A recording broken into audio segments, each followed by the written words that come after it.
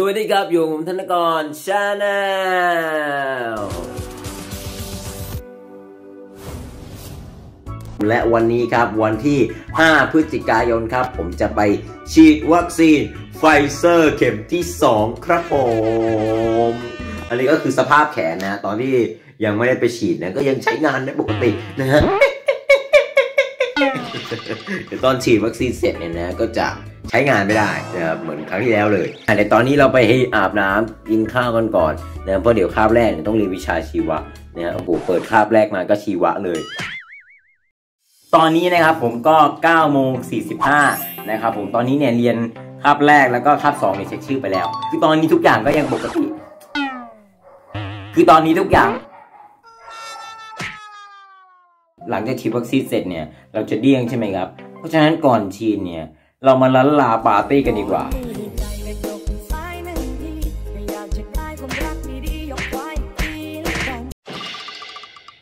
โอเคครับ ตอนนี้ก็ 11โมงแล้วนะฮะก็ออกมาแล้วนะ ตอนนี้ก็กำลังไปรับเพื่อนนะ รถก็ติดมากๆนะ ตอนนี้ก็คือแบบว่าหาที่ก่อสร้างนะ รถจะติดมากๆเลย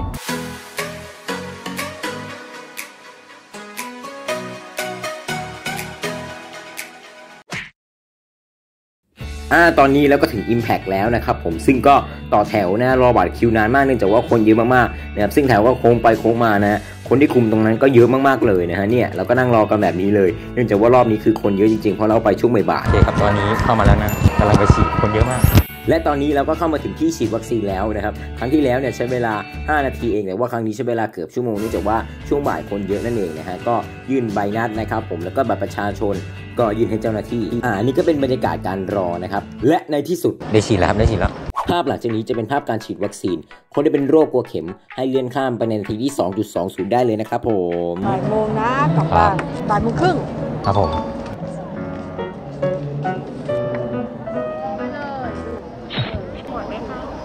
นิดนึงครับผม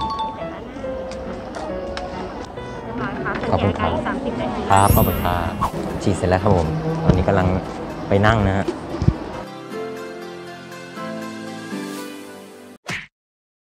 โอเคครับตอนนี้ก็ฉีดเสร็จแล้วครั้งนี้ได้ภาพน้อยหน่อยนะ เพราะว่าคนเยอะมาก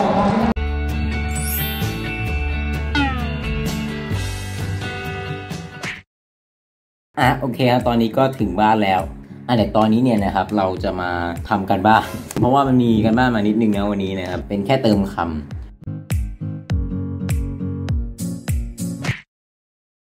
ตอนนี้ก็หนึ่งทุ่มครึ่งนะของวันศุกร์นะซึ่งอาการตอนนี้เนี่ยยังไม่มีอะไรนะนอกจากการปวดแขนบางคนบอกว่าเอ้ยทำไมเสื้อพี่มันดูแบวๆอันนี้เสื้อแม่ฮะอออันนี้เสื้อแม่นะครับที่ต้องเอาเสื้อแม่มาใส่เพราะมันเป็นเสื้อที่แบบว่าเป็นเสื้อสวมแขนนะครับแล้วก็มันสบาย ยังใช้งานได้ปกตินะฮะ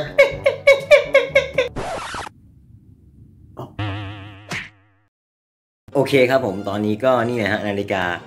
ห้าทุ่มแล้วนะครับ อาการก็ไม่มีอะไรเหมือนเดิมเลยนะ ก็แค่ปวดแขนแต่ปวดมากกว่าตอนหนึ่งทุ่มนิดหนึ่งงั้นก็คลิปนี้ไม่น่าจะมีอะไรแล้วนะครับ ผมก็ขอปิดคลิปเพียงเท่านี้นะ ก็ชอบใจก็อย่าลืมกดไลค์กดแชร์และกดติดตามด้วยนะครับ ผมวันนี้ไปแล้วครับ สวัสดีครับ บ๊ายบาย